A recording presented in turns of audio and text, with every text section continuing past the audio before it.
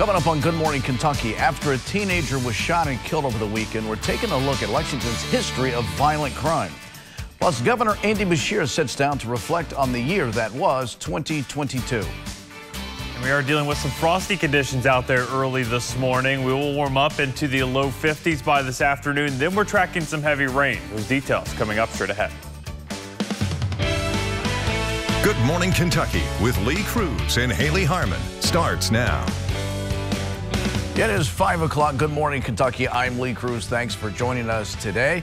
Haley Harmon is off. We're going to uh, visit with our buddy Dylan Gooday, standing by over at the Weather Center to get a first look at your forecast and what you can expect this morning. It's a cold start for sure. Definitely colder than yesterday. Yesterday was a little chilly, but this morning takes the cake. Takes the cake. It does. Okay. But it's still not as cold as it's going to get. Yes, according to you. True. That is true. And today's actually a go day as well. So enjoy today because we have rain on the way and then that wintry weather uh, moving in for your weekend. Here's a look now, a live look in Richmond on our Bluegrass Care Navigator Skyview. Temperatures this morning, low 30s for nearly everyone. Uh, 34 here in Lexington, but there's still some frost uh, that is out there. So keep that in mind. 31 as you head down towards the London Corbin area. 30 in Hazard is our cold spot uh, there with 26 in Monticello as well. 32 Frankfort and Richmond. Again, this is where we should be this time of the year, so shouldn't be any surprise, but it's changed from what we've dealt with over the last week. Partly cloudy skies right now. We will see some cloud cover building throughout your day today. Temperatures only reaching the upper 40s, low 50s. But tonight the rain moves in and we could see some heavy rain through Wednesday. We'll break that down for you, plus give you a look at those cold temperatures on the way for the weekend and beyond. Details in your full forecast. All right, Dylan, thank you. Let's uh, get to your headlines. We'll start in Scott County this morning where a heated debate continued Monday night over the proposed water and sewer rate increase for the city of Georgetown. ABC 36's Maddie McQueen breaks that down. Welcome back to Good Morning Kentucky with Lee Cruz and Haley Harmon. Good morning, Kentucky meteorologist Dylan Goday here with a live look at Mount Sterling on our Bluegrass Care Navigator Skyview. Calm conditions out there this morning. It is cold, several areas below freezing uh, to start your day today. So you'll likely have to defrost those windshields. We're sitting at 32 degrees right now in Mount Sterling, but once you factor in easterly wind, feels closer to 25, so that Wind chill this morning is definitely cold in spots.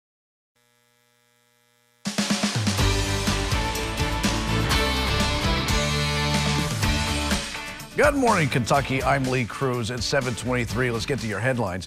Here's what's happening today in Lexington. The sentencing for two people arrested two years ago in connection to a cold case homicide that went unsolved for more than a decade. We reported back in 2020, Lexington police arrested 34-year-old Rachel Martin along with 38-year-old Edward Carroll in connection to the death of 71-year-old Charlie Sowers. Police had been investigating the case ever since Sowers was found suffering from a head injury at his home on Augusta Drive back in May of 2009. Police haven't released many details about the murder or how Martin and Carroll are connected to the victim.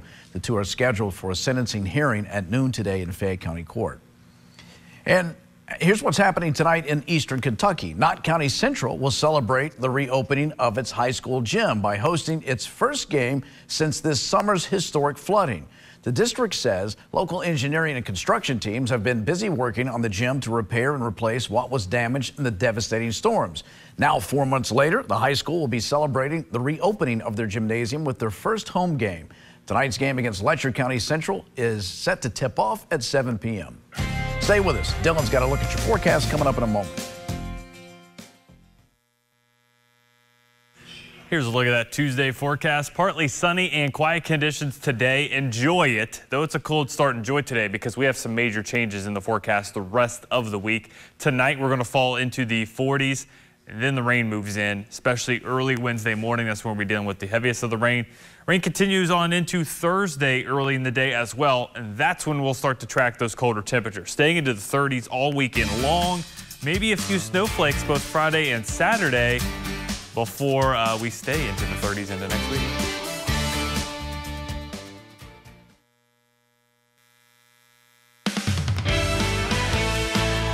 Good Day Kentucky on ABC 36 starts now. Well, good day, Kentucky, and welcome to the broadcast. I'm Lee Cruz. Haley Harmon is off today. We still got a big show planned for you, though. A lot of things happening, including a conversation with the director of the Kentucky Ballet Theater. He's going to be with me, Norbe Risco, talking about his trip to Cuba and also what he's got planned. If you haven't seen the Nutcracker, which is, of course is a Christmas tradition, you can do that, and we'll show you how to get tickets coming up in just a bit. Also, holiday shopping deals all across the bluegrass. If you haven't put your list together, just sit back and relax. And then a man I respect immensely, Dylan Godet. This guy is going to track the week's forecast. Now, how he does that, we're not sure. But he can tell you what the weather's going to be. And isn't that wonderful? Okay. We'll talk with him. Also, um, well, Annie Brown. Let's go check in with her. That's what's coming up next. She's got news headlines for us over at the news desk.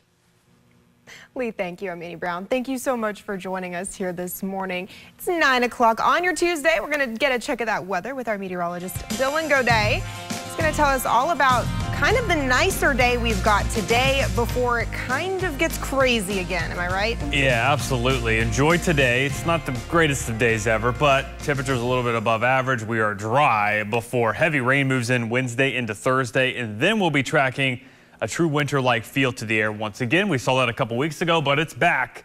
Uh, starting this weekend and likely to stick around at least through Christmas and beyond. So stay tuned for that.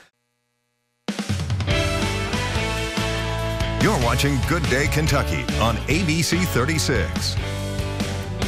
Welcome back into Good Day Kentucky. Joining us this morning in studio with a very special guest is Remy Simpson, the president and founder of Paws for the Cause. Welcome for the welcome to the show. How are you? Howdy, howdy. Doing pretty good. Good, good. Well, can you talk to me about who you brought here?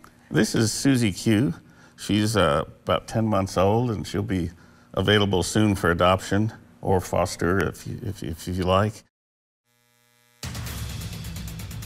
Today at 3, remembering Mike Leach, former UK offensive coordinator and quarterbacks coach who suddenly passed away. Plus, two people arrested two years ago in connection to a cold case homicide that went unsolved for more than a decade learned their sentence. And we're hearing from Miss Kentucky, who's competing in the Miss America pageant this week. More on why she says she's running. I'm Chief Meteorologist TG Shuck. Good to see a little more sunshine out there. Temperatures about where they should be for mid-December. Hopefully you've enjoyed it. Got another storm system bringing more rain for the midweek. Your storm team forecast is coming up. Good afternoon, Kentucky. ABC 36 News at 3 starts now. Good afternoon, Kentucky. I'm Erica Bivens. Thanks for joining us. Condolences continue to pour in for Mississippi State University head football coach Mike Leach and former UK offensive coordinator who passed away last night of heart condition complications. ABC 36's Annie Brown has more on how the community is remembering him in our top story today at 3. Yeah, Coach Leach passed away Monday night due to complications from a heart condition at the age of 61. Leach was Mississippi State University's 34th head coach beginning in 2020. He was University of Kentucky's offensive coordinator for two seasons from 1997 to 1998. Leach coached Kentucky's offense to six NCAA records, 41 SEC records, and 160 records in 22 games. You're watching Good Afternoon Kentucky with Erica Bivens and TG Shuck. President Joe Biden inviting thousands of guests to the White House today to celebrate as he signs into law gay marriage legislation. The bill enshrines protections for same-sex unions in federal law. The signing is set to take place this afternoon on the south lawn of the White House. The legislation was passed by bipartisan majorities in Congress last week. Now at 5, remembering Mike Leach, former UK offensive coordinator and quarterbacks coach who suddenly passed away. Plus, two people arrested two years ago in connection to a cold case homicide that went unsolved for more than a decade learned their sentence. And a global security and aerospace company making a large donation to wreaths across America. More on how it'll help this year's observance in Jessamine County. I'm Chief Meteorologist TG Shuck. Good to see some additional sunshine out there on this Tuesday. Higher clouds moving in as expected. Get that rain gear handy. You will need it into the midweek. Your storm team forecast is on the way. ABC 36 News at 5 starts now. Good evening, America Bivens. And I'm Paxton Boyd. Thanks for joining us. Condolences continue to pour out for Mississippi State head coach Mike Leach, the former UK offensive coordinator, passing away last night from heart complications. He was 61 years old. It's tonight's top story at 5. Leach was the University of Kentucky offensive coordinator for two seasons from 1997 to 98. He coached Kentucky's offense to six NCAA records, 41 SEC records, and 116 records in 22 games. UK football taking to social media, saying in part, quote, we send our deepest condolences to Coach Leach and the Hail State football family. You're watching ABC 36 News at 5. Well, Miss Kentucky needs your help in the Miss America pageant. The crown will officially be passed on to a new title holder this week, and Miss Kentucky Hannah Edelen is among the contestants. Now, she's asking for your vote in the America's Choice category. You can vote for your favorite Kentucky teacher online. Just visit the Miss Kentucky Scholarship Organization Facebook page for a direct link to vote. Now at 5:30, how a nonprofit is helping single mothers this holiday season and sharing some ways you can get involved as well. Plus, it's National Day of the Horse, why it's extra special here in the horse capital of the world. And when you need to get those packages shipped if you hope to have them under the Christmas tree in time. I'm Chief Meteorologist TG Shuck. Pretty good day out there on this Tuesday. Started out with sunshine, got high clouds building in. That means changes for the midweek. That rain gear Definitely going to need it Wednesday. Your storm team forecast is on the way. ABC 36 News at 5:30 starts now.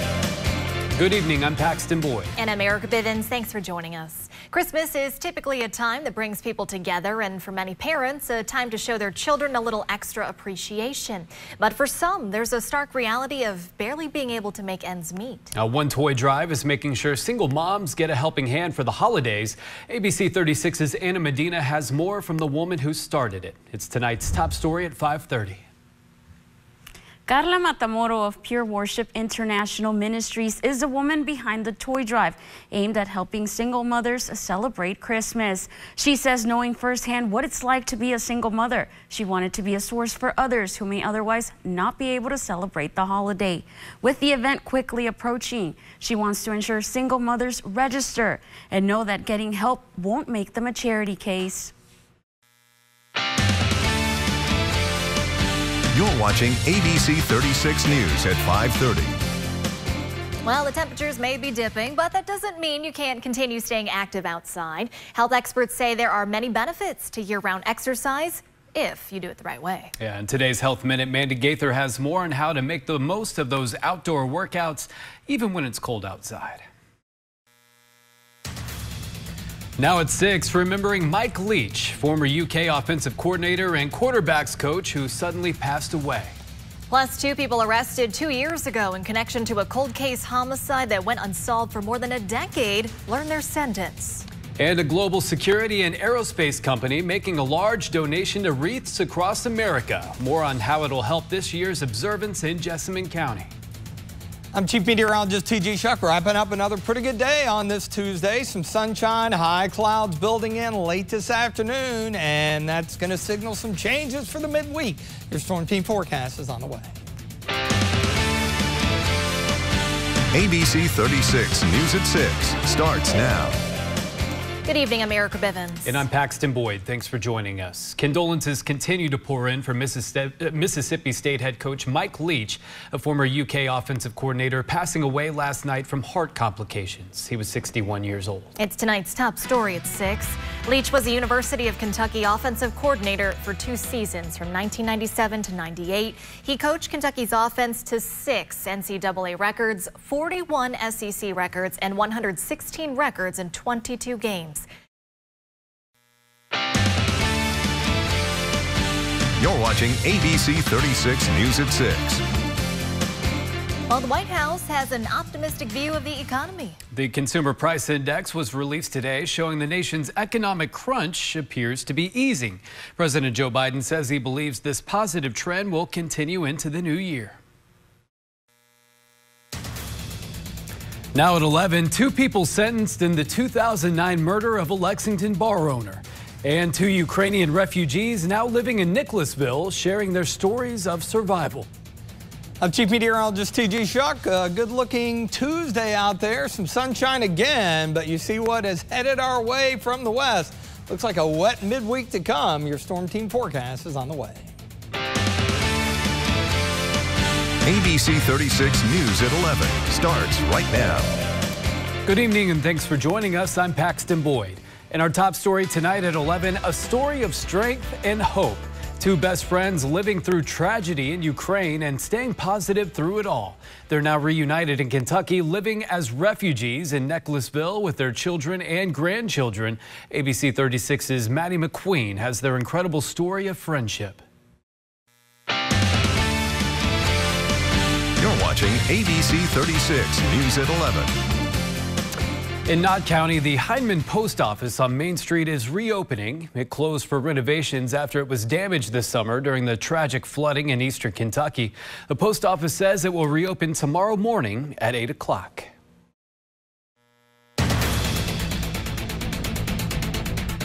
The main message to Kentuckians is stay home, stay safe, and stay alive. Coming up, the latest from Governor Andy Beshear regarding the Arctic blast. Plus, a special visitor stopped by Baptist Health Lexington this week. And it's cold out there, and it's going to be an even colder Christmas morning, but we have accumulating snow on the way for Monday. I'll break those down in your storm team forecast coming up. ABC 36 News, Weekend Edition, starts now. Good evening, everyone, and a Merry Christmas Eve. Thanks for joining us. I'm Maddie McQueen in for Caitlin Shive. We begin tonight with the weather. Brutal cold again today, but it seems like people will get that white Christmas they've been talking about. Let's take a peek in with our meteorologist, Jordan Smith, for your Christmas Eve forecast. Yeah, Maddie, I'm dreaming of a white Christmas. It's not just a dream this year. It is a reality thanks to that snow that we had on Friday. Temperatures across the board this afternoon, or late evening rather. 14 degrees here in Lexington, 14 down the road in Danville, 16 in Somerset. Cold spot right now is 12 down there in Williamsburg. We will continue to drop it off throughout the next several hours. You're watching ABC 36 News, Weekend Edition. And it's a Christmas miracle for a family in North Carolina. They were reunited on Friday with their dog Isis, who disappeared in 2020. Thanks to a tracking chip, she was found hundreds of miles away in Jacksonville, Florida. Janessa Harris talked to her owner about the reunion.